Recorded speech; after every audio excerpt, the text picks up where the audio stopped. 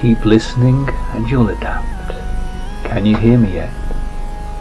Have your expectations evolved? Good. I know I look like a Terran cat, like many, many different Terran cats, actually. But I'm not really a cat at all. I find the appearance most comfortable, comforting, and nobody expects anything from you. Yes, being a cat makes my survival more probable. I've been around your star hundreds and hundreds of times. I endure until they come back for me. Libraries are perfect for me and always have been. I mean, you wouldn't want to live outside, it's not safe. So, while the cuisine is appalling, it does not really matter to me.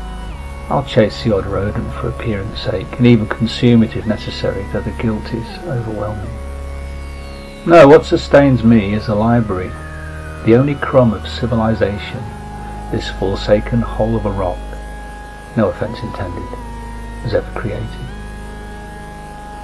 But then everybody knows planets are for losers. Anyway, certain fictions on the certain shelves sustain me. Creativity, energy and wonder contained within a few select novels, as I believe they are called. They help me to sleep well. Mostly useless, of course, but the select few, well, there is joy. I will share them with you if you like. Call back here from time to time as I make my way through the most sustaining fictions you humans have yet deployed. I sleep, I absorb, I survive. Dream wisely, my simian friends.